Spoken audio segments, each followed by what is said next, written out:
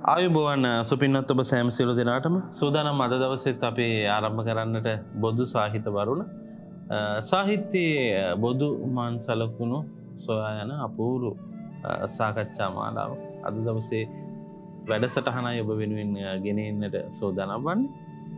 ඉතිං අපේ පසුගිය සතිය කතා කරේ විශේෂයෙන්ම මෝද උදාවත නම් ශ්‍රී ලාංකීය සාහිත්‍යයේ පළවෙනි පද්‍ය සංග්‍රහය සම්බන්ධය එමනතම් මේ පිළිබඳවයි ඔබට විවරණය සැපව.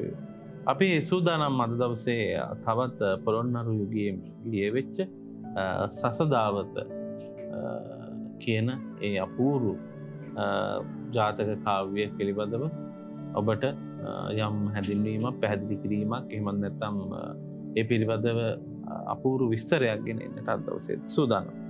අපි අද දවසේත් මේ සිටින්නේ පැළවත්ත මයුරපාද මහපිරිවේ භූමි පරිශ්්‍රය එතින්න ඉතාම ගෞරුවෙන් සහිපත් කරනවා මෙහි විහාරාධීපති ශ්‍රී ලංකා රාමං්්‍ය මහානිකායේ අන්නාහිම්පාණන් වහන්සේ වන ආචාරය වලේබට ගුණසිරි අන්නාහිම් පාණන් වහන්සේ. උන්වහන්සේගේ අනුශාසකත්වය මඟ පෙන්වීමෙන් තමයි අදවසේත් මේ වැඩසටහන මේ ස්ථානය පටිගත කෙවා එතින්න අදවසේ මේ වැඩසටහන් ඉතාම ගෞරුවෙන් වමනාවෙන් වැන්ම කරවා ගන්නට දුම වෙනදාවගේම් පැළවත්ත මයුරපාද මහපිරිවෙන් වාසී රාජකීය පණ්ඩිත අවසරය අපට නම කියන්නට රත්මලානේ රතන සිරි ගෞරණය වහන්ස පහසේ රමස්කාරපුරක පිළිගන්න අවසරය පැ හඳුරනේ ඒ වගේම සුපුරුදු පරිදි අදවසත් අපි කළ අවාගන්නවා කැලනිය විශ්වවිද්‍යාලයේ සිංහල අධ්‍යනාශයේ මහාචාරණය කුසුම් හේරත් මැතිය ඔබතුමත් අයිබෝන් තිීතිරගන්න ඉතිං ඒ වගේම සේපත් කරන අදවසේ මේ වැඩසටහනත් දායකත්වය දක්වන්නේ පියෝඩෙල් ආයතන එහි සභාපතිත්වයක් සේපත් කරමින් අපි අදවස වැඩසටහන අරක් කරනට සූදාන බන් සුමිනතුනේ අපි සසදාවත පිළිබඳවයි කතා කරන්න. සසදාවත අපි කලින් සඳහන් කළපු විදිහටම පොළොන්හරු රාජධානය රචනාවලි තාම අපූරු අධ්‍ය සංග්‍රහය අප හාමුදුරුවනේ බිසවක් පිළිබඳව සාහිත්‍යය සඳහන් වෙනවන මංහිතනවා අපට ඉස්සල්ලාම හම්බෙන්නේ මේ පදි සංගහයෙන් තම බිසවක් පිළිබඳව. විශේෂෙන්ම කිත් සෙනවි රදුන්ගේ සහය ඇතිව පොළොන්නට රාජධානී අගරජන ලෙස සිටි ලීලාවති බිසවගේ කාලේ තමයි මේ කෘතිය රචනා වනා කියලා සඳහන්න. හැබැයි මේ කෘතිය කෞද රචනා කරේ කියන කාරණය පිළිබඳව විවිධ මත තිය. එහමන්දතම් යම් යම් විවිධ චින්තකයෙන් විවිධ දර්ශනකින් සාහිත්‍යදරයෙන් විවිධ මත පල කරනවා කොහොම වනත් ඉතාම වටිනා කියන ග්‍රන්ථයක් අපට හිමුණනාය කියන කාරණය තමයි සේපත් කරන්න තියෙන්. අප හමුදුරනේ අපි විශේෂයෙන්ම දැනගන්නට කැමති කොයි විදිහටද මේ සසදාවත රචනා කරන්නට පසුබිම සැකසෙන්න. මොන වුවමනාව කරද මේක රචනා වෙන්නේ කියන කාරණ අපේ මූඩිකව ගත්ත. එම බොහෝමයක් කෘති විශේෂයෙන්ම මහායාන බලපෑම් හින්දු බලපෑම් ආශ්‍රය කරගෙන ඒ පරමත කණ්ඩනය කරනවාස් තමයි රචනා වනේ. මේ කෘතිය ඒ වගේ දේකරද රචනාවනේ නැතම් වෙනයම් වූ කාරණයක් තිබෙනවාද කියලා වහන්සගෙන් දැනගන්නට කැමති. තෙරුවන් සරණයි සිරු දෙනාටම. කැලනි විශ්වවිද්‍යාලයේ සිංහල අධ්‍යනාංශයේ මහාචාරය මගේ ඇදුරුතුමියක් වන කුසුම් හෙරත් ඇදුරුතුමියන අප කල්්‍යාන මැතිතුමනි අද අපි සාකච්ඡා කරන්න බලාපොරොත්තු වෙන්නේ පොළොන්නරු යුගයේ නිර්මාණය වූ දෙවන ගීකාවය පිළිබඳ. ඒ තමයි සසඳාවත කියන ගීකාව. පොළොන්නරු සාහිත්‍ය යුගයේ ගත්තහම මේ පොළොන්නරු සාහිත්‍ය යුගයේ ප්‍රධාන ගීකාවය දෙකක් රචනා වෙනවා. එකක් තමයි මෝදය උදාවත්ත අනිත් එක සසඳාවත්ත. මෝද උදාවත්ත පිළිබඳව අපි ගේ වැඩ සටහනි සාකච්ඡා කරන්නට යෙදුනා ඒ කොයි වගේ පසුබිමක නිර්මාණය වන කාවයක්ද කියනක පිළිබඳව. තැ පොළොන්නර යුගේ රචනාවන දෙවන ගීකා වෙන සසඳාවත්ත අප කල්්‍යාන මැතිතුමා මුලින් දැක්වූ වගේ ලීලාවතී රැජිනගේ කාලේ රචනාවන කෘතියක් බබහි දැක්වේ. ඒ සසඳාවතේ පද්‍ය හතරකින් එහි අනුග්‍රහක්‍යා පිළිබඳ දක්වලා තිබෙන. මේ සසඳාවත කියන කාවේ නිර්මාණය ජාතක පොතේ තියෙන වැදගත් ජාතක කතාවක් වස්තු කරගෙන තම නිර්මාණය වේ. ඒ ජාතක කතාව අපි කවුරුත් දන්න සස ජාතකය. සස කියල කියන්නේ හාවට. බෝධිසත්ව හාවාගේ ජීවන චරිතය තමයි මේ ජාතක කතාවේ විවරණය වෙන්. දැ මේ ජාතක කතාව හරි ප්‍රකට වෙන්නේ අපේ සිංහල සමාජයේ හඳ දැක්කහාම අපි සසල අපේ පෙන්න්නනවා. හඳි හාවෙක්කින්නක අපි දරුවන්ට පෙන්නවා. හැබ ඇත්තටම ගත්තොත් හඳේ හාවෙක් නෑ හැබ අපි පෙන්න්නනවා හඳි හාවෙක්කින්නවා කියල. ඒ එතැන්ට යන ප්‍රවෘතිය නිර්මාණය වන පුරාණෝක්තිය තියෙන මෙන්න මේ ජාතක කතාව. ඒ කතාවස්තුව. සසජාතකයේ විවරණය වෙන්නේ දස පාරමිතා අතර පළවෙනි දාන පාරමිතා පළවෙනි පාරමිතා තමයි දාන පාරමිතාව. දාන පාරමිතාවක් කොටස් තුනකින් යුක්තයි. දානපාරමී උපපාරමී පරමත්ත පාරම. එත දාන පාරමිතාවත් උත්කෘෂ්ටම පාරමිතාව තමයි පරමත්ත පාරමිතාව. එතර දාන පාරමිතාවත් ඉහළම අවස්ථාව තමයි පරමත්ත පාරමිතාව. ද අපි දන්නවා මේ බුද්ධකාරක ධර්ම පාරමිතාවලට අපිගෙන බුද්ධ කාරක ධර්ම කියලා. මහරහත්තත්වයට පත්වෙන පාරමිතා විතරයි. උපපාරමී මට්ටමොන පච්චේක බුද්ධ පසේ බුද්ධත්වයට පත්වේ.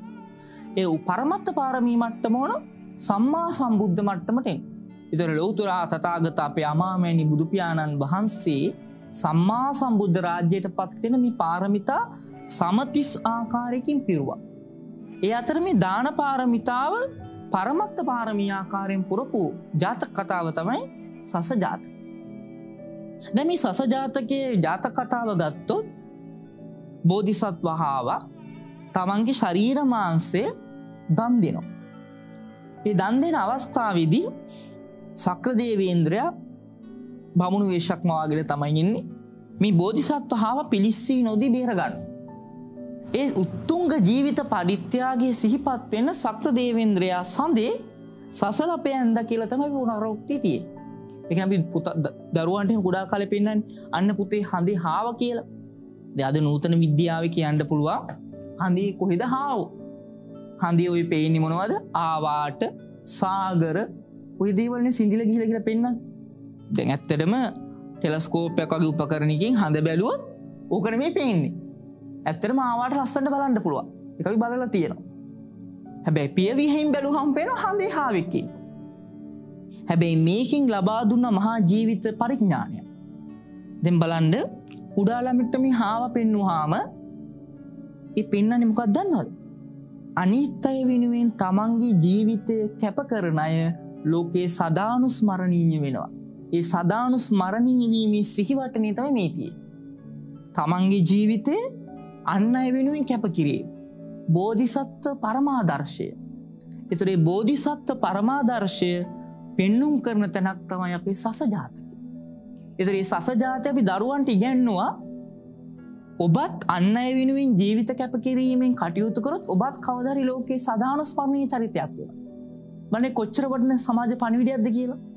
හැබැයි අප ඇත්තුගෙන් ඕනන්හිම් පුතේ හඳී තියන ආවාට. ඔය හාවෙක් නෙමේ කිය හැබේක වටිනෝ දරුවක්ට නෑ හැබේ ඉගෙන ගන්න දරුවක් ජම් වයසකට ආවාමනයද විද්‍යාව ගෙනගෙන ඒවයිසිදි ගෙනගන්න ඇබි ළමයි ළමෙක්ට කුඩා කාලේ ඉගැන යුතු මට්ටමක් තියනවා. ළමෙක්ට කුඩා කාලේ ඉගැන යුතු මට්ටමක් තිය ඕනමද විද්‍යාව ගන්න ඕන වය සක්තිය දැන් අපි ගත්තොත්තෙම කල්යන මහත්තය පාරට දරුව පයිනට අපි කෙනුත් පුතේ පාර ගෝනි බිල්ලෙක්කින්න යන්ඩිපා පාරට. පාරතර ගෝනි බිල්ලෙක් නෑ. මේ අප අම්මල අපි බය කරන්න කිවට අද වෙනක තාමාප ගෝනි බිල්ලෙක් නෑ. හැබැයි එහෙම කිව්වේ අර දරුවගේ ජීවිතය ආරක්ෂා කරන්න. දරුවට කිවන පුතේ පාරට යන්නප වාහනක හැපි ඇවිල් හැපිල මැරයිකල හෙමකෝ දරුතිර නෑ ළමට තේරෙන විදිහට ඔහුට වැටහෙන විදියට සන්නිවේදනය කර. එතකොට අපේ සිංහල සමාජය තුළ මේ අපේ ජාතක පොතේ ජාතක කතාවස්තු සිංහල සමාජය විසින් ග්‍රහණය කරගත්තු විදිහ. එතොට බලන මේ සසල අපේ. එතර මේ ජීවිත පරිඥානය. හෙම නැත්තම් මේ තමගේ ජීවිතය අන්න අයි වෙනුවෙන් පරිත්‍යාග කිරීම මේ දාන පරමත්ත පාරමිතාව. සදානු ස්මරණීය තැනත්තම මේ සස ජාතකය කියල් කිය.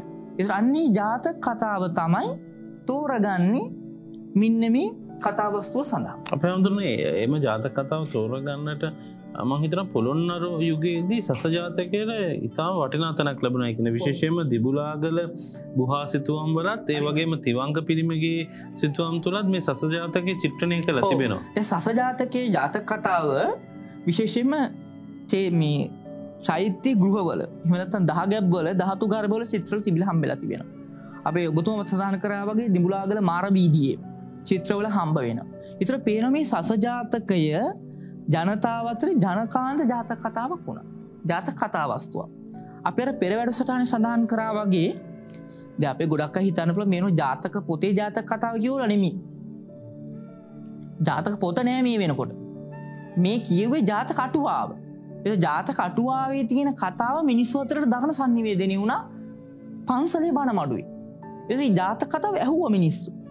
අහපු ජාතක කතාව දැක්ක පන්සලේ විහා ඒ දැක්කප එක ලස්සන්ට ගියට නැකපු තැනත්තා මීති එ ජනතාව අතර ජනකාන්ත නිර්මාණ තමයි වස්තු වික්ෂය කරගත්තේ නිර්මාණ සඳහා.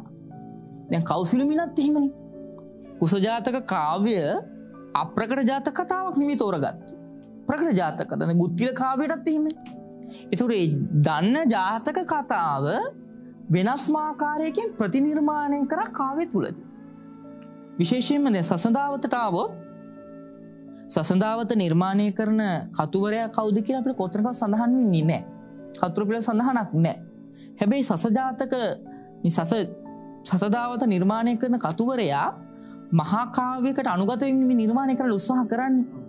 හැබැයි මහාකාවයකට තිරිසංගත සතෙක් වස්තු විශවෙන්ට පැහැ එක මහාකාවේ ලක්ෂණයක් නෙමි මහාකාවයකට වස්තු විශ්ව වෙන්ඩෝන දීර වීර තේජස්ත්‍රීයෙන් යුක්ත චරිතයක්.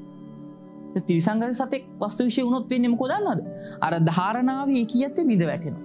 සසජාතකෙත් වෙන්නේ එකයි සසජාතකය මහකාවයක් නිර්මාණය කරන තර සුදුසු ජාත කතාවක් නිමේ තිරිසංගත සතෙක්තයි මූලික චරිතය. එතරේ චරිතය තුළින් යුද්ධය දීර බව බීර භව උදාරගුණය වගේ චරිත මේ තුළ ඉස්මතු කරන්නට බෑ. තරේ සසජාතක අසාර්ථක වෙන එක්තරා බලපාන හේතුවක්තම ඒක. සස මේ සල් මේ සසදාවත අසාර්ථක වෙන් එතුර මේ සසදාවත කියන නිර්මාණය අපි කල්්‍යන දැක්වෝ වගේ අපේ රටේ පොළොන්නරයුගේ මිනිස්සු අතර ජනකාන්ත නිර්මාණයත්ව සසදා සස ජාතකය. එකර චිත්‍ර නිර්මාණවල තිබුණා. ඒත් එක්කම විශේෂෙන්ම අපේ රටේ මිනිස්සු අතර තිබුණා ඉස්සර බණ කිව පන්සේ බණමඩුවෙන්. එත බණහාදී ජාතක කතාව හාමුදුරුවරු සෘතිකෝච විතින් තම කිව් එත එහිදී අපි විශේෂ අමාවතුර බුස්සරණ වගේ පොත්වල ජාතක කතා නාමාවලය ඇතිනට අපි කිව එයතර මේ සසජාතක තිබේ. අපට පේනවා මේ සසජාතකය කොයි තරන්නම් මිනිස්සු අතර ජනකාන්ත වනාද කිය අන්න ඒ නිර්මාණය තමයි මේ නිර්මාණය සඳහා භාවිත කර හැබැයි භාවිත කිරීමේදී මෝද උදාවත වගේම තමයි සසජාතකයක් ප්‍රධාන වශයෙන් අර මහාකාවේ ලක්ෂණ දැක්වීම සඳහා භාවිත කරාට අර මුක්්‍ය ජාතක කතාවේ ඒකී අරමුණ බිඳ වැටේ ඒ අපිට ප්‍රධාන වශයෙන් මෙහිදී අඳුරගන්න පුළුවන් වෙන ලක්ෂණයක් වෙන.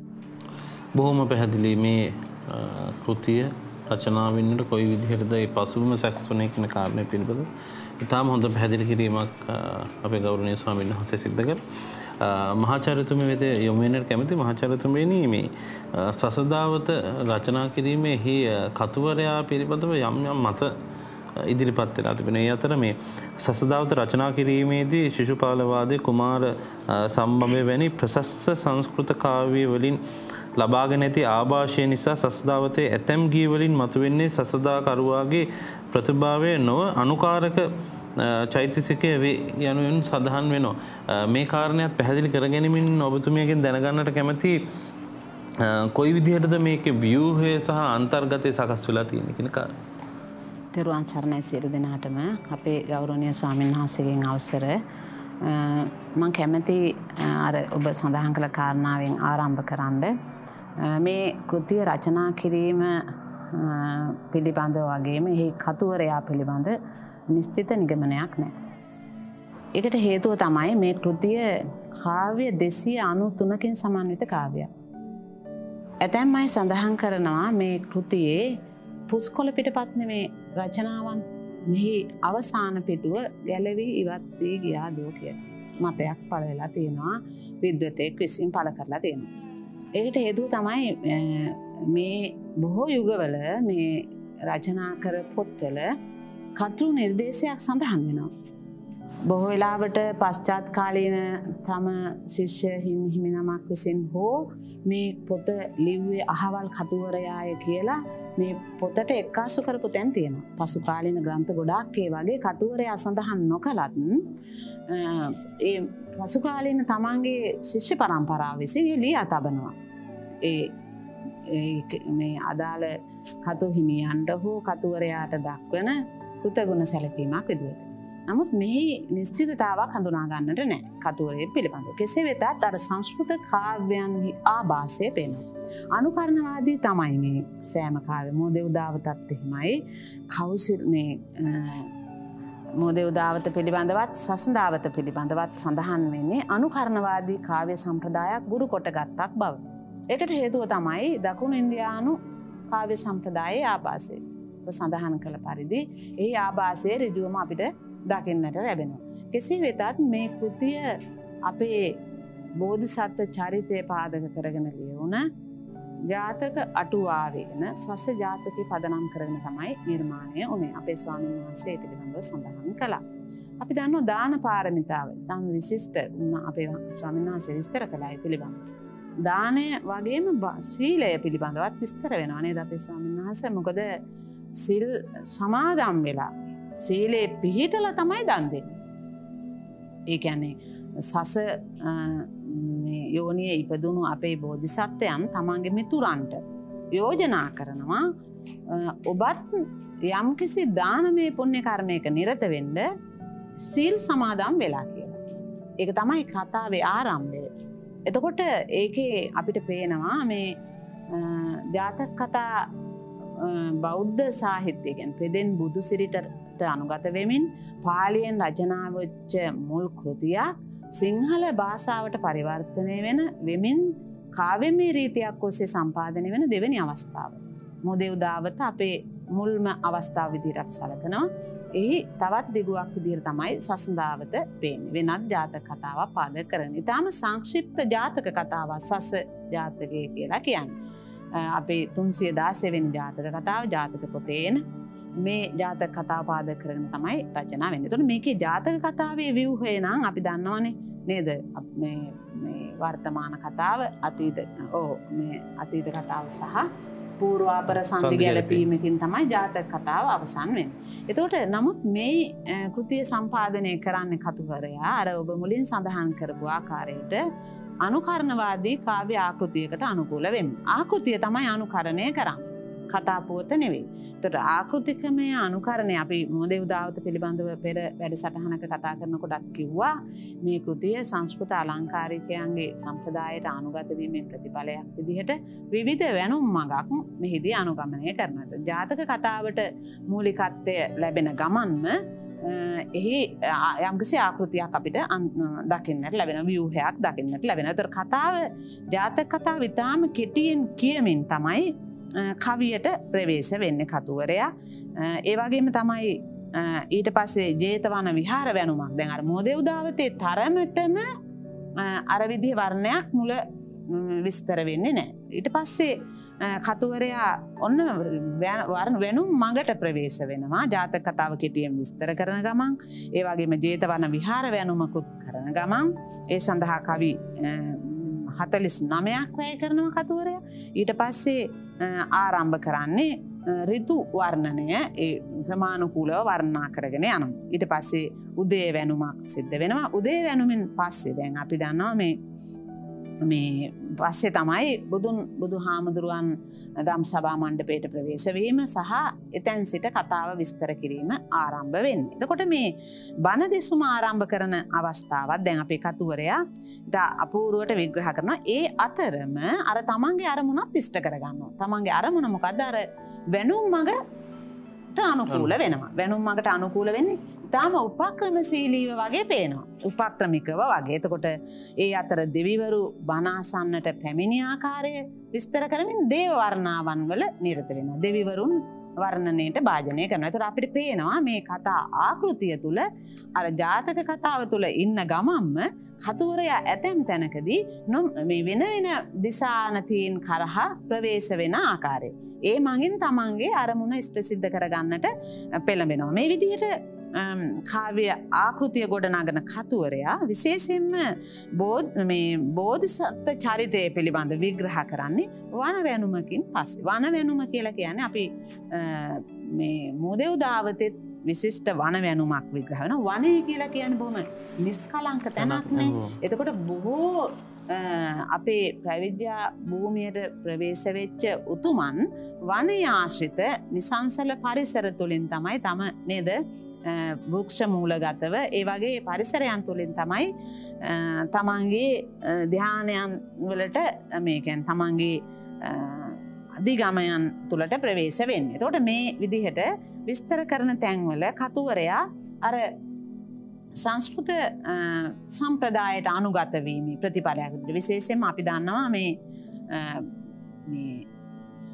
රස එය පිළිබඳව. රස රස් මේ ගැන්න මේ රසවාදය කියන ගැන පෙරදිග කාව්‍ය සම්ප්‍රදායන් අතර මේ අපි දන්නවා සම්ප්‍රදායන් කීපයක් තියෙනවා. අලංකාරවාදය අවචිත්‍යවාදය රසවාද අවධනිවාදය කාව්‍ය කරනයේදී භාවිතයට ගන්නා රීති පද්ධතියක් පිළිබඳව විග්‍රහ වෙන මේ පිළිබඳවත් කතුවරයාගේ අවධානය යොමු වෙනවා වනවැනුමත් සමඟ ඒ වගේම ඊට පස්සේ තමයි මේ බෝධි සත්‍යයන්ගේ චරිතය විග්‍රහවෙන මේ විදිහට තාම ක්‍රමානුකූලව යම්කිසි ආකෘතියක් තුළට ජාතක කතාව බහලන ආකාරය අපිට හඳුනාගන්නට පුළුවන්කම ලැබෙන. එතකට මේ මෙවැනි වියහයක් මෙවැනි අන්තර්ගතයක් තමයි ජාතක කතාව තුළ සස ගැනීම සසඳාවතෙහි අන්තර්ගත වෙන සස් ජාතක පදනම් කරගෙන නිර්මාණය වෙන. තොට මේ කතුවරයාගේ අරමුණ වනේ මූලික අරමුණක් තියෙනවනේ මූලික අරමුණ තමයි ජාතක කතාවෙන් විග්‍රහ වෙන පනිවිඩය පාටකයට ශ්‍රාවකයට ලබාදින්න. එතට අර පාලියෙන් ලියවිච්ච මුල් කෘති පාදක කරගෙන සිංහල භාෂාවට මේ කෘති නගනකොට කාවෙම ආකෘතියක් ඔස්සේ නගනකොට ඇතැම් වෙලාවට තම අරමුණ ගිලිහියාම කරමෝදේවදාවත කතුවරයා වගේම අරමුණේ ගිලිහියාමක් අපිට හඳුනාගන්නට පුළුවන්කම ලැබෙනවා. ගැන ජාත කතාවේ අරමුණක් තියෙනවනේ. තොට මේ පාරමිතා සම්පූර්ණ කරන්නට යාම්. තොට අපි දානය වගේ මර්මංසලක වගේ සීලේ පිළිබඳව විග්‍රහ වෙනවා. මේ සිල් රකිමින් දානේ නිරතවීම දොට මේ සක් දෙව්ගේ පැමිණීම ඒ වගේ සිද්ධි අර වැනුම් මඟ ඔස්සේම යමින් වර්ණා කරන්නට කතුවරයා පෙළඹිලා තියෙනවා සසඳාවතයේදී. බොහෝම පින් ඉතාම හොඳ විවරණයක් අපතුම විසින් සපයන්නට ලැබුණ විශෂම මේ වර්ණා පිළිබඳව.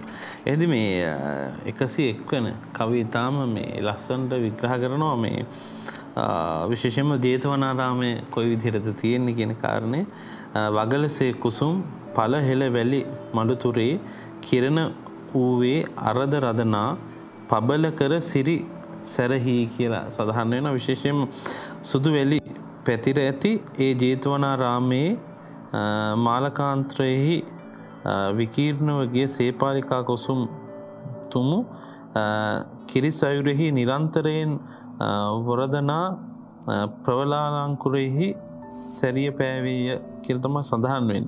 ඉතින් මේ ඉතාම මේ අපූරුවට විස්තර කන මට කවි කියන්න නම් බෑ කියන්න නම් බෑ හැබැයි ඉතින් මේ ඉතාම වරණාත්මකයි අප හමුදුරන ම ඔබහන්සක දැනගන්න කැමති මේ විශ්වලිමේජින් එහෙමන්දත්තම් මේ චිත්‍රණය වෙන ආකාරයෙන් ඉතාම මනාව මේ කතුවරය මේක රචනා කරලා තියෙනවා. මං ඔබහන්සකින් දැනගන්න කැමති මේ එම කතුවරයා සතු තිබූ මේ වර්ණාත්මක හැකියාව සහ මේ උපමාරූපක අලංකාරය ඒදීමේ හැකියාව පිළිබඳ ඔබහන්සකින් දැනගන්නට කැමතිය.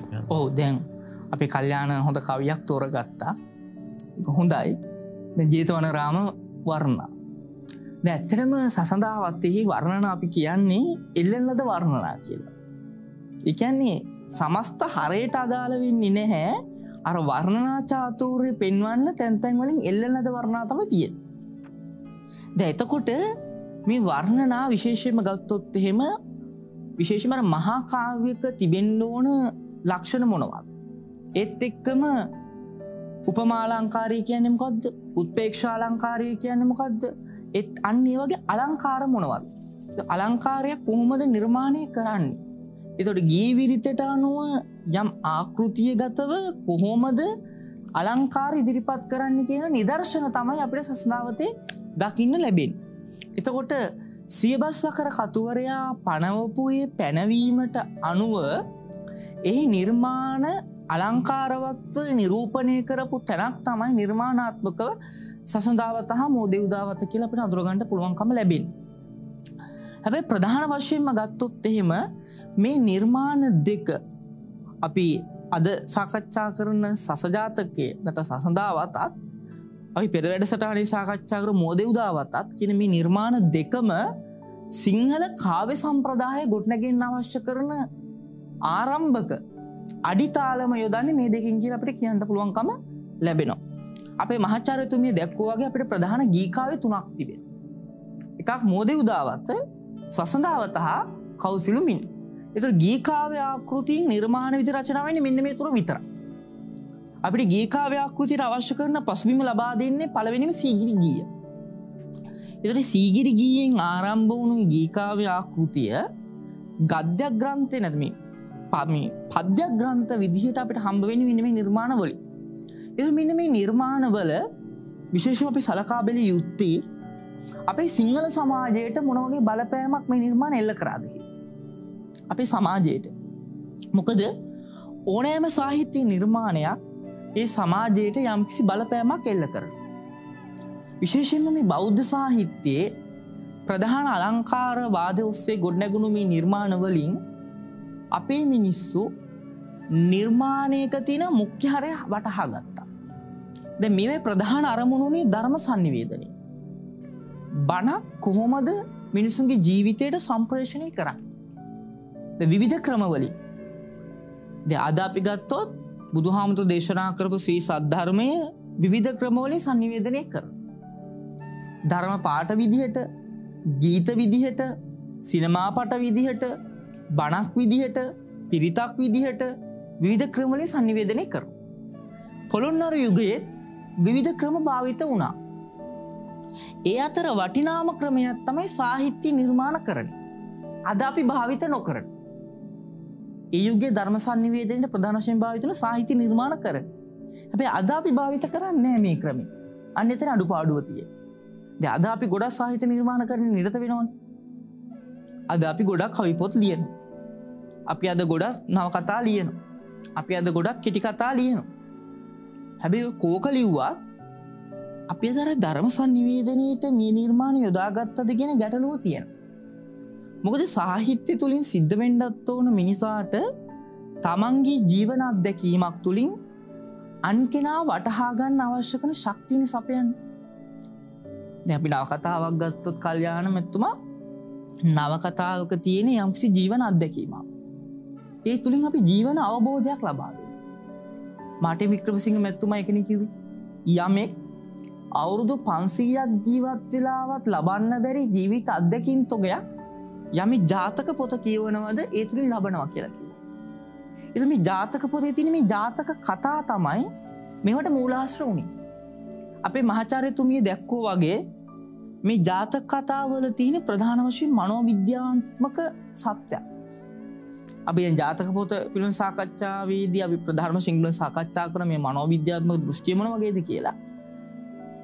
මනෝවිද්‍යාත්මකව ගත්තොත්තම හාවිග්ගේ චරිතය. තුළින් පේන්නේ අපේ තියෙන මේ මනුෂ්‍ය ස්වභාවීම තම. ජාතක පොතේ විවිධ ජාතක කතාවල සත්තු ඉන්නවා. සත්තුන්ගේ චරිතවලින් අපේ පෙරදිග සාහිත්‍යය තුළ විශෙන් අපේ සිංහල සහිතතරක් නෙමේ. අපි ගියොත්තහෙම කල්යන මැත්තුමා පංචතන්ත්‍රය වගේ භාරතය සාහිත්‍යයටත් සත්තුන්ගේ චරිතවලින් කිවත් මනු මිනිශ් මනුෂ්‍යයාගේ චරිතයව තම්. දැ නරයාගේ චරිතය කපටිකක්. සිංහාගේ චරිතය දීර වීර බව. ඒ සත්තුන්ට අදාළ ගුණාංග තිබුණ. එත මනුෂ්‍යයා තුළත් මෙන්න මේ ගුණාංග තියෙනවා. අඩු වැඩි වශ්‍ය. එතරී ගුණාංග කොහොමද පුද්ගලක ජීවිතයේ යහපත් බවට හේතුවේ. අන්න ඒක තම අපිට මේ කාවය තුළින් ගැන්. අධ්‍යතන සමාජයේ අද ඉන්න අපිටත් මේ සාහිත්‍ය පිළිබඳ අපි සාකච්ඡා කිරීම තුළින් බලාපොරොත්තු වෙන්නම මෙන්නමී මනුෂ්‍ය ගුණාංග එකිනෙක වැඩිදිවුණු කරගන්න සාහිත්‍ය කොමට භාවිත කර. අද ගොඩක් නිර්මාණයන් බිහි වෙනවා. විශේෂ අපි මහචරතුමී මාතක එකඟබී. බටහිර තිබෙන යම්කිසි මූල ධර්මයටත් අපි නිර්මාණ බිහි කරන. අන්තිමට ඔහේ පොතක් ලියනවා යම්කිසි ආකෘතියක් යටතේ අවසාන ජීවිතයට ඉකුතු වෙච්ච දෙයක් නෑකො මායතාර්ථවාද වෙන්න පුල පශ්චාත් නූතනවාද වෙන්න පුළුව මොකක් වූ අපිට තේරෙන් නැති නේද විවාහාරික නොවන ආකෘතිකට ලියන නිර්මාණය හැබැ ඒකින් ජීවිතයට නිර්මාණයට එකතු දෙයක් සමාජයට එකතු දෙයක් සමාජයේ යහ පැවැත්මට සමාජී තිබෙන තැමින් ඔසවා තබන්න ඒ නිර්මාණය කොතරම් භාවිතුනාද කෙනෙක ලඳ ගැටලු තිබෙන. හැබැයි අපේ පුරාතන සම්භාව චිරන්තන සාහිත්‍යය තිබෙන වටිනාකම තමයි මේ පොත් අදටත් අපි තුළ පවතින්නේ කාලේ වැලිතලාම වැසී නොවැසී පවතින්නේ මේ නිර්මාණ තුළ ඒ චිරන්තනාගේ තිබුණ. ඒ ජීවන අත්දැකීම තිබවා. ජීවිතයට ගණ්ඩ දෙයක් තිබුණ. පරිත්‍යයාගේ වටිනාකම කිව්ව. නයිෂ්කර්මය වටිනාකම කිව්ව. අධිෂ්ඨානය වටිනාකම කිවද අපි කවසිල්මට ගයොත්තේම නේද. අධිෂ්ඨානය රාජිස්ථානයේ වටිනාකම්. ජීවිතය දිනන්න අභියෝගවලට මුහුණ දෙන්න ඒ අවශ්‍යක නොබසුබටනා වීර ගොඩ්ඩගාගන්න කොහොමද කෙනෙක කියලදුන්න. එතවට මනුෂ්‍යයාට අවශ්‍ය කරන ශක්තිය තමයි සාහිත්‍යයෙන් සැපිවූ.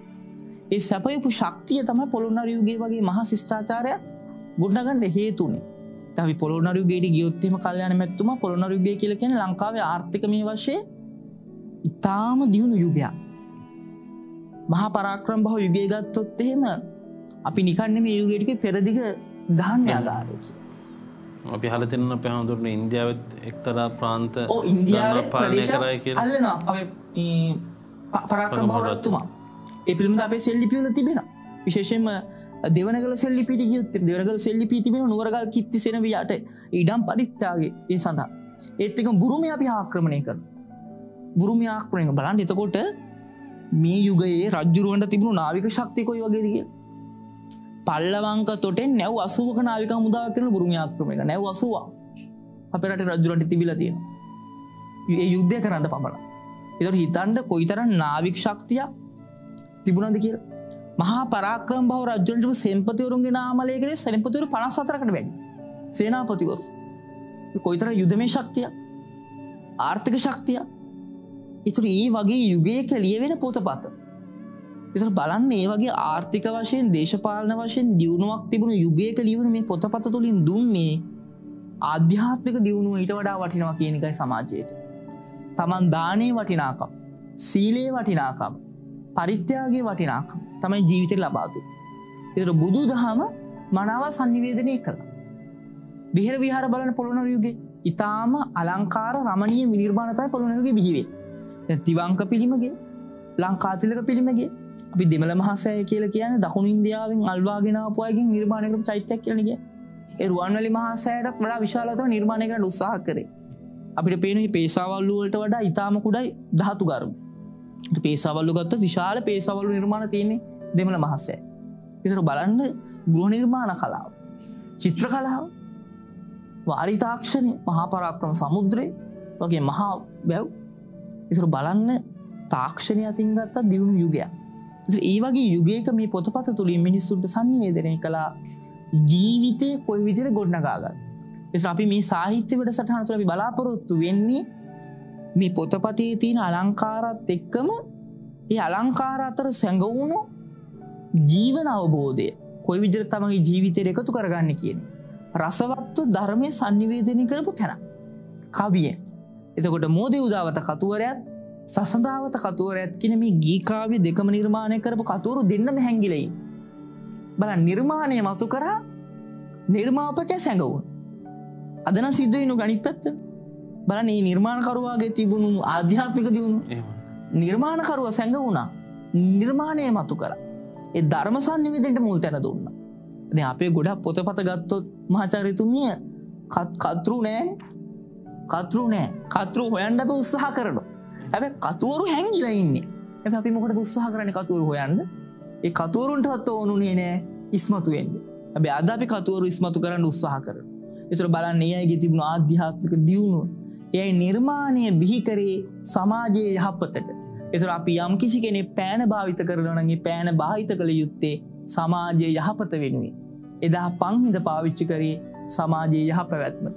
අද තිහෙන තැනින් සමාජය අඩියක්කෝ ඉදිරියට තියන්නයි ඒ අයි නිර්මාණය භාවිත කළේ. අද නිර්මාණ බිහි කරන සියලු දෙනාටම පූර්වාදර්ශයක් සපයනවා අපේ මේ පද්‍යකරුවන් විසින් කොයි විදිහටද නිර්මාණයක් සමාජයට දායාද කරන්න ඕන කියනක පිළිබඳ. බොහොම පැහැදිලි අප හමුදුරනේ මේ මේ සාකච්ඡාව කරනගෙන යන අතරවාරේ තවත් කාරණ කිපයක් පැහැදිලි කරගන්න හිතුන විශේෂයම මහාචරිතමගේ මෙහි පරමාර්ථය ශාක්ෂාත් වනාද කියන කාරණය පිළිබඳව විමසන්නට කලින් ඒ තමයි මේ මේ පද වැදුම් ගැන ඉතාම අපූරු මේ හැඩතල කිහිපයක් අපට හම වෙනවා විශේෂයෙන්ම මේ අඩබිම් බන්ධන ක්‍රමය ඊට අමතරව ගෝමාත්‍රිකා පාදාන්ත යමකය ඒ වගේම දජයක ස්වරූපයෙන් දජය ස්වරූපෙන් ඒවගේම චිත්‍ර බන්ධ චිත්‍ර බන්ධ. චිත්‍ර බන්ධන. මේ ත්‍රිශුල් ත්‍රිශූලේකාකාරයෙන් ඉතින් මෙවැනි මේ බන්ධන ක්‍රම කහිපයකුත් සඳහන් කල තියෙන මේ කෘතියක් පිළිබඳ සඳහා කරන්න ඕන වීඩස් ගුණවර්ධන ශූරුවන්ගේ කෘතියක් ඉතාම අපූරුව පැහැදිලි කරනවා. ඉතින් ඔබතුමයකින් මේ ක්‍රමවේදයන් මොනවාද කියන කාරණය පිළිබඳව දැනගන්නවත් එක්කම මෙහි පාටකයාට නිර්මාතෘවරයා හෙමන්දැත්තම් කත්තුවරයා දෙන්නගේ පනිවිඩේ ශාක්ෂාත් කරගන්නට හැකියාව ලැබුණද කියලා අවසන් වශයෙන් දැනගන්නට ගැම. හොඳයි.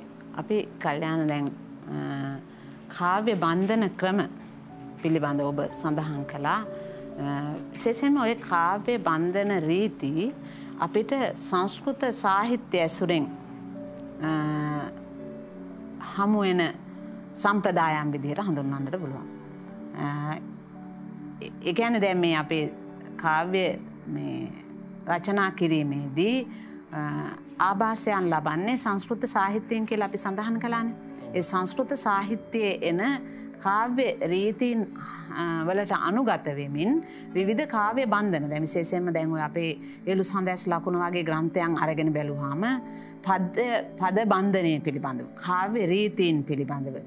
එතකොට අලංකාර යන් පිළිබඳ උපමා භාවිතයන් පිළිබඳ විවිධ ආකාරයේ විශේෂම අලංකාරසිය අහල ඇති මංහිතානේ විධ පොත්පත් රචනා වෙලා තියෙන. දර කාවය කරනයේදී පද බන්ධනය කරන විරිත් භාවිත කරන ක්‍රමයක් තියෙනවන. අන්න ඒ ක්‍රමවේදයන් අනුට අනුකූල වෙමින් දැන් ඔය මේ ඔබ සටහන් දක්වන ආකාරයෙන් පේනවා පද බන්ධනය කරන ආකාරය පද පිහිටවන ආකාරය කාවයේදී ඒවා ගැබුරු කාවය බන්ධන රීතියෙන් විදිහ දුෂ්කර බන්ධන. සිංහල කාවේ රීතියේ ඔය ක්‍රමය අනුගමනය කළේ නෑ පසු කාලන. ගීකාවය අපිට හම්බ වෙන ගීකාව්‍ය අතර සීගිරි ගී අතර ඔය වැනි පදබන්ධන ක්‍රමයන් හඳුනාගන්නට පුළන් ගීකාවය තුළ තමයි මේ ක්‍රමේ තේරෙන් අපිට පසුකාලීනව අපි ඇසුරු කරන්න සිව්පද රීතිය. සිව්පද රීතිය. සිව්පද රීතිය ඔය ක්‍රමයක් අපිට හඳුනාගන්න නෑ. ඕ දේශීය රීතියක් තමයි ඒ සිව්පද රීතිය කියලා ගැන් ඒ ඇරුණකොට සංස්කෘතයන මධ්‍යමක් යොතුරට කැමති දැන් අපි ගීකාවේ රීතිය ප්‍රධාන වශයෙන් සංස්කෘත අලංකාර සාහිත්‍ය බල පැමත්තෙක් ගොඩනැගෙන එකක්න අනුකරනවාදීන අපිට සිව්පද ක්‍රමේටන අපේ ජනකවිය. ජනකවි රීතිය. අපේ ජනකවි ඒ තුළින් තමයි විදර්ථ කාවි සම්ප්‍රදාය පසු කාලෙන්ම නිර්මාණ ජනරීතියෝස් ජන මේ ඔබ අපේ කල්්‍යයාන සඳහන් කළ ඒ ක්‍රමයන් දුස්කර බන්ධනයන් සියල්ලම සංස්කෘත කාවිරීතිය එන ක්‍රම පණ්ඩිත ප්‍රිය. පණ්ඩිත ප්‍රිය. එතකොට ගොඩක් අපි මේ සස්දා කතුවරයාට එන චෝදනාවක් තමයි තම පාණ්ඩිත්‍ය ප්‍රදර්ශනය කිරීම සඳහා විවිධ දුස්කර බන්ධනයන් කාවිරීතියෙන් සඳහා ඇසුරු කරගත්තාය කියනක. එක තම මේ සංස්කාරකතුමන් මේ විග්‍රහ කරලා තියෙන. තොට අපි අන්නේ ක්‍රමය අනුක්‍රමයන් අනුගමනය කිරීම නිසා මේ කාවිරීතින් දේශීය පාටකයට ශ්‍රාවකයට තරමක ආගන්තුක ස්වරූපයක් ඇති වුණා කියනක තමයි පිළිගැනීම වෙන්න. ඒවගේ මේ මෙවැනි දුස්කර බන්ධන භාවිත කරමින් අර විවිධ උපමා භාවිත කරමින්. එතොට අපි සාමාන්‍යෙන් උපමාවක් දැන් කාවයක් ගත්තම කාව්‍ය ආකෘතියක් නිර්මාණය වෙනවනේ මයිස්සල්ල සඳහන් කලා වගේ කාව්‍ය ආකෘතිය නිර්මාණය වෙන්න වස්තු විශ්ය විසින් වස්තු භාවිතය විසින්. එතොට නමුත් මේ කතුවරයා දැන් අපේ ජාතක කතාව කාව්‍යයට නැගීමේ අරමුණ අරමුණක් තියෙනවනේ අර මුලින් කිව්ව වගේ අරමුණ මොකද මේ ජාතක කතා කරුවාගේ අරමුණ තමයි අරමුණ කැන්දාන පාරමිතාව සීල පාරමිතාව සම්පූර්ණ කිරීම සඳහා බෝධි සත්‍යයන් කුමන ආකාරය ක්‍රමවේදයන්ට අම්නුගමනය කර? මොනමන ආත්ම භාවවල මොනමන මේ ජාතීන් වල ඉපදිලාද තම පාරමිතාව සම්පූර්ණ කරගත්ත කියෙන්. දොට දැ මේ යුගේ තිබුණ ආබාසය ලබන්ඩ තිබුණ සම්ප්‍රදායන සංස්කෘත කාවි සම්ප්‍රදාය ඒ සම්ප්‍රදාය ඇසුරු කර ගනිමින් මේ යම්කිසි ආකාරයකට පණ්ඩිත පිය ස්වරූපයක් අනුගමනය කරමින් තමයි මේ සසඳාවත කියන කාවි නිර්මාණය මෝදෙ උදාවත කතුවරයටත් එවත් ඉක්මවාගිහිල්ලා මේ එවැනි රීතියක් දුස්කර බන්ධන සහිත රීතියක් ඔසේ කාවි කරණය නිරත වෙන කොමුණත් කතුවරයා මුළුමනින් මාරමුණෙන් බැහැරවෙන්නේ නෑ. අර සම්ප්‍රදාය ගුරු කොට ගනිමිකෙන් ගේකාව ආකෘතිය මුල් කොට ගනිමින් තමයි කාවය කරණය ය දෙන්නට පෙළඹෙන්නේ. අර ඒ විදිහට දුස්කර බන්ධන කීපයක් අපිට මේ කාවය කෘතිය අධ්‍යයනය කරනකොට කෙනෙකුට පුළුවන් මේ පිළිබඳව හදාරන්නෙකුට මේ පිළිබඳව ගැඹුරින් කරුණු අධ්‍යයනය කරන්නකොද අපේ සංස්කෘත සාහිත්‍යයන කාවිරීතීන් පිළිබඳව අධ්‍යයනක දැ ගද්‍ය රීතින් තියෙනවා ගද්‍ය රීතින් කීපයක් අපිට හඳුනාගන්න පුළුවන්. දැම ෘත ගන්දී වගේ රීතින් ඒ වගේ පද්‍ය රීතින් හඳුනාගන්න ඕ අද භාවිත කිරීම පිළිබඳව ක්‍රමවේදයන් අනුගමනය කලා කාලය පිළිබඳව තමයි මෙතනිදි ඔබ ඒ විස්තර කරන්නට ඒ දුනේ තොට අපි ගියෝතින් දැම් මේ යුගේ ඒකාව රචනා කිරීම කතුවරයයි පරමාර්ථය ගිලිහුණාදෝ කියන කාරණාව පිළිබඳව අපි සඳහන් කළෝතින් අපි කිව්ව දැන් මේ යුගේ විවිධ නිර්මාණකරුවන් විසින් තමන්ගේ එකන බෞද්ධ බෞද්ධ බුදු දහම ආරක්ෂා කර ගැනීම සඳ ප්‍රයත්නයන් දරනවා. ඒකැනේ බුදු පිළිම වහන්සේලා නිර්මාණයන අපේ ස්වාමීන් වහන්සේ කිව්වාකාරයට ඒවගේම කලාශිල්ප නිර්මාණය කරපු නිර්මාණ කළුවා උසස් කලාකෘති බිහි කරනවා හැබැයි මේට සමගාමීව තවත් ආගමික මත ගණනාවක් සමාජය නිර්මාණය වෙමින් නැගෙමින් පැවතුනා.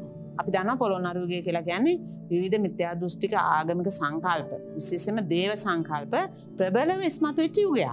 එතුර මේ යුගයේ මේට අවශ්‍ය කරන පිළිතුරු ලබාදීම සඳහා. බුදු දහම ආරක්ෂා කර ගැනීම සඳහා ගන්නාලද ප්‍රයත්නයක් විදිට මේ නිර්මාණ හඳුන්නන්නට පුළුවන් කලා නිර්මාණත් ඒවගේම අපි මුලින් පාරණා සඳහන් කරපු අම්මවතුර කතුවරය බොත්සරණ කතුවරය ගද්‍යෝස්සේත් ඒවගේ මේ කතුවරෙන් තමන්ගේ පද්‍ය නිර්මාණ කරණය ඔස්සේ ආකෘතිය කාව්‍ය ආකෘතිය සංස්කෘතය ගත්තට මූල බීජ සම්පාධනය කරගත්තේ අපේ බෞද්ධ සාහිත්‍ය ඇසුරි ජාතක කතා ඇසුරු කරගෙන. එකනිසම් අර අනුකරණවාදී ක්‍රමවේදයක් ඔස්සේ. විවිධ වෘත වලට අනු විවිධ රීති වලට අනුකූල වෙමින් ඒවගේම දුස්කර බන්ධන භාවිත කරමින් කාවි කරණය යෙදෙන ගමම්ම මූලිකාරමුණ තියාගත්ත. බෝධි සත්ව චරිතය කොයි ආකාරයටද දාන පාරමිතාව සහ සීල පාරමිතා විශේෂෙන්ම දානය. ඒකන්නේ මුලින් සඳහන් කලා සිල් සමාදම් වෙලා දන් දෙන්න කියලා තම මිතුරන්ට යෝජනා කරන. මේ මිත්‍ර ස්වභාවයත් එක්කෙනෙකුට එක්කෙනෙක් සමබිනා එනෙමේ. මත්සේ එමනේ අපේ ස්වාමීන් වහන්ස දැම් මේ සසජා ජාතිය ඉපදෙන මේ මේ සාව විතරක් නෙමේ එයට තව එයාට තව මිත්‍ර සමූහයක් සිටිනවා. ඔවුන් විවිධ ජාතීන් වලට අයත් අයි. එය විවිධ මස්සවලට ආහාරයට ගිජුකන් දක්වන අය. දැන් අපේ සමාජයට හොඳ පණිවිඩයක් දෙනවා මේ ඔස්සේ. නේද? අපි දැන් පුළුවන් තරන් අපි බලන්නේ අපිට එකතු කරගෙන අපිට කන්නනේ. නේද? ආහාරයට ගන්න අපිටම කියන හැඟීම. නමුත් අපේ බෞද්ධ අයනම් බොහෝ වෙලාවට දානය ප්‍රමුකත්තේ තබනවා අපිට පේනවා විවිධ අවස්ථාවල අන්න අයත් එහෙමයි. කොහොමුණත් මේ ජාතක කතා තුළින් ග්‍රහණය කරගන්නට අවශ්‍ය කරන මූලික කාරණාටික කතුවරය ඉස්මතු කරන තැන් තියෙනවා අපිට හඳුනාගන්නට පුළුවන් බෝධිසත්ව චරිතය විග්‍රහ වෙන නමුත් මේ කියන ආකාරය සහ මේ යුගේ භාසාතත්වය පදනම් කරගෙන පශ්චාත් කාලීන්ව මේ නිර්මාණ පොදු ශ්‍රාවකයට පාටකයට ඇසුරු කිරීමට තිබුණ දුස්කරතාවර ඔබ සඳහන් කරපු ආකාරයට විවිධ දුෂ්කර බන්ධනයන් භාවිත කරමින් කාව්‍ය කරණය නිරතවීම සඳහා. ප්‍රභූ සමාජයට උගතුන් අතර පමණක් මේ පොතපත ඇසුරු කරන්නට කාරණා වනා කියලා සඳහන් කරන්න පුළුවන්. බොහෝ වෙලාවට මේවා මෑතකාලීන දැන් සාමාන්‍ය පොදු පාටකයාට කියවලා රසයක් හෝ අවබෝධයක් ලබාගෙන සන්න තියෙනවා තමයි අර්ථ විවරණ තිබෙනවා තමයි. එවනත් ඒවත් සමඟ කියවලා උනත් අවබෝධ කර ගැනීමට යම් යම් අපහසුතා ඇති තත්ත්වයක් තමයි තිබෙන කොමනත් මේ සසඳාවතට මේ කතුවරයා විසින්ම සම්නයක් ලියපු බවට මතයක් පලවෙනවා කතුවරයා විසින්ම මේ දුස්කරතාව තේරුම් අරගෙන සංස්කෘත සම්ප්‍රදායට දකුණ ඉන්දයානු සම්ප්‍රදායට අනුගතවමින් කරන ලදසිය කාව්‍ය නිර්මාණය සඳහා දෙසිය අනුතුනකින් සමන්නට කවි සඳහා තමන් විසින්ම සන්නයක් සම්පාධනය කරපු බවට. මොකද මේ විවිධ විෂයට සාහිත්‍ය ගද්‍ය නිර්මාණය වෙච්ච යුගයක් මේක. පොළ ඔන්නරයෝගේ කියලා කියන අපි පිළිබඳ සාකච්ඡා කලා සන්නයක් සම්පාධනය කිරීම මගින් පොදු පාටකයාට පොඩ්ඩු ශ්‍රාවකයාට යම්කිසි අවබෝධයක් මේ ජාතක කතාව පිළිබඳ සහ කවියෙන් බනක්කීම කියන අරමුණ. මේ අරමුණ ඒකන. තැන් ජාතක කතාවක් කවියට නැගින් අපි ගැන ගී කාව්‍ය වුණත් සිව්පද කාව්‍ය වුණත් අරමුණ වුණේ සමාජගත කරන්න. අවබෝධය පෘතුල කරන්න. ජීවිත අවබෝධය ආගමික අවබෝධය ආගමේ මූලික පරමාර්ථය ඒ ශාස්ට්‍රූවරුන්ගේ ගමන් මග විස්තර කිරීම තමයි නිර්මාණකරුවාගේ වෑයම උන්. ඒ යම්කිසි ප්‍රමාණයකට ඉෂ්ට වෙමින් හතුවරයා විසින් අනුකරණවාදී ඒ වගේම අනුචිතවාදී අනුචිත බවක් පේනවා යම් යම් තැන්වල. පරිසර දැන් පරිසරය නිර්මාණය උපමාවක් යොදාගන්න අපි. ඒ පරිසරයට ගෝචර වෙන්නදිය. පශ්චත්කාලන කෘතිවලත් මේ ගතිය තියෙනවා ස්වභාවේ තියෙනවා සමහලට නොගැලපෙන උපමා රාශයක් ඒදුන තැන් කාවිශයකරේ ගුත්තිලකාවේ පවා තියෙනවා. සරලකාව නිර්මාණවල පවා. නමුත් මේ කෘතිවල බහුල වසයෙන් දකින්නට ලැබෙනවා උපමාරූපක භාවිතයන්නේ නොගැලපින්. ගැලපෙන උපමා භාවිතය ඇතිමකොද මේ අවබෝධය මේ යුගයේ තිබුණ භාසා තත්ත්වයන් යුගේ නිර්මාණ වෙලා තිබුණ කෘති විශේෂම සඳහන් කරන්නට මේ මෝදය උදාවත සසඳාවත එකම ක්‍රමයක් ඔස්සේ එකම රීතියක් ඔස්සේ එකටම නිර්මාණය වෙච කෘති දෙකක් විදිහට තමයි අපි පෙන් මේ කෘති දෙකේම අපි මුලින් කත් සාකච්ඡා කරපු වැඩි සටහනේදී සාකච්ඡා කලා විදි වගේම මේ කෘති දෙකේම තියන්නේ අර මූලික හරය යට පත්වමින් යම්කිසි ප්‍රමාණයට සම්ප්‍රදායට ගැතිවෙන අනුකරණවාදී ස්වරූපයක් වනත් පරමාර්ථය යම් ආකාරයෙක්ට ඉෂ්ට සිද්ධ කරගන්නවා ග්‍රන්ථ හිග වූ යුගයක පද්‍ය ගන්ත හිග වූ යුග. හරිම අපූරු සාකච්ඡාවක නිමාවටයි අපි එළබ තිබෙන් ඉතින් අදවසේ සසදාවත ඇසුරින් ඉතාම වඩනා කියන කරුණු රාශයක් දැන ගන්න ලැබුණ අපි අපට ආරාධනා කරන වෙනද වගේම ඔබට හැකියාවත් තිබෙනවා නම් පුස්තකාලයකින් හරි කමන්න මෙවැනි කෘති රැගෙන පරිශීලනය කරන්න. යම් තාක් දුරකට ඔබට හැකියාව තිබෙනවා නම් මේවා එකින් එක පොත් රැගෙන කියවන්නට මංහිතනවා අපි මේ කරන සාකච්ඡාවට වඩා පුල් දැනුමක් ඔබට ලබා ගැනීමේ හැකියාව තිබෙන. ඉතින් ඒ නිසා අපේ වැඩසටානේ පරමාර්ථයත් ඔබට මේ බොදු සාහිත්‍යය සමීප කරන්නට. සැබවින්ම බොදු සාහිත්‍යයකිවට මේ ශ්‍රී ලංකීය සාහිත්‍ය කලා ඔබට අපි සමීප කරන්න. ඉතින් වර්තමානයේ නවකතා බොහෝමයක් කාව්‍ය ග්‍රන්ථ බොහෝමයක් රචනා වනවා තමයි.